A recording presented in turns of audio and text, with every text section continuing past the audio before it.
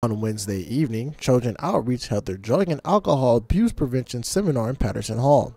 The goal of the seminar was to help students understand the dangers of those unhealthy substances as well as identify different substances so it encourages students to be safe, healthy, and make good decisions over the break.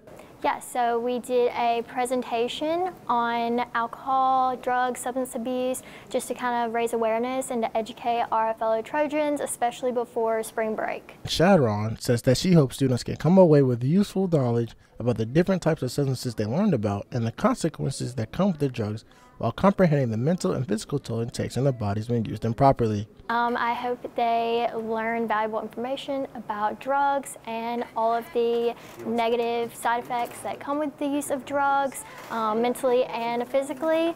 And I hope that they take that with them in the future and avoid the use of drugs. Shadron also says that the one thing that she hopes students can come away with who attending this seminar is to be aware of your surroundings and to only take substances given to you by a medical professional. Be safe anytime you're around drugs, avoid the use of drugs, and make sure that if you are prescribed any drugs by a doctor, you take them exactly as prescribed. This has been Nick Wright, Troy, Trojan Vision News.